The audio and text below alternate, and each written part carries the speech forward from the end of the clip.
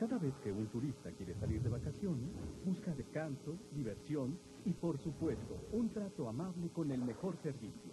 Por eso, tú que eres parte de los servicios turísticos de México, puedes atraerlo.